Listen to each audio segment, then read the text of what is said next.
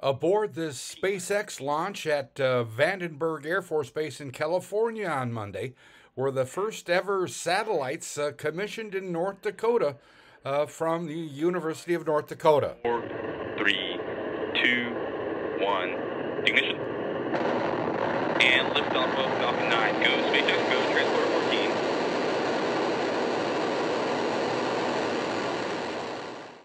Uh, this from UND, quote, a component of UND's rendezvous and operations for autonomous docking and servicing, our ROADS mission. The pair of satellites named ROADS 1 and 2 were launched into orbit on Monday via SpaceX's Falcon 9 rocket at Vandenberg. The satellites were developed in collaboration with AVS USA, an engineering firm headquartered in both upstate New York and Spain. They are low Earth uh, orbit satellites denoting an altitude of less than 1,200 miles above the Earth's surface and are currently being operated from AVS. Pablo de Leon, uh, professor and chair of UND's Space Studies Department, had positive news to report on Tuesday. ROADS 1 and 2 have made their first orbital passes and established telemetry. That is, Mission Control has received critical data from the satellites. He said this is a critical step in assessing, assessing the satellite's health and viability. Quote, What is important is that you communicate with the satellites and that they are alive, De Leon said. The nightmare of every satellite designer is that after so much work, waiting, and investment, they are unresponsive once in space for whatever reason.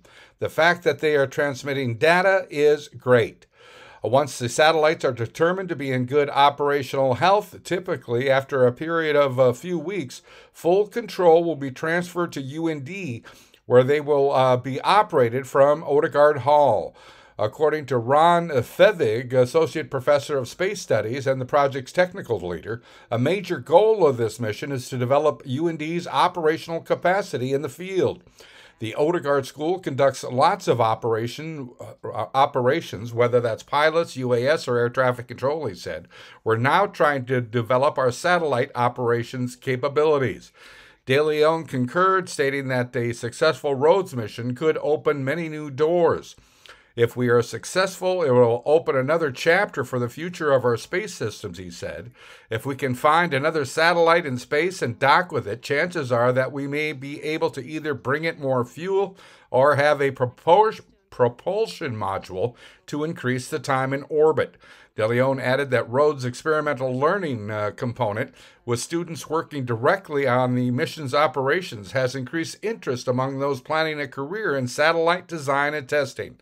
When they graduate, these students will be able to say, I was working in the guidance and control of satellites. Burn, and that's a plus when you're applying slows the vehicle for down a job, before hitting the denser parts. Uh, that Final was from burn UND, that this booster will execute the before touching down. Of the rocket on a remote controlled ship. Stage one landing leg deployed. Seco.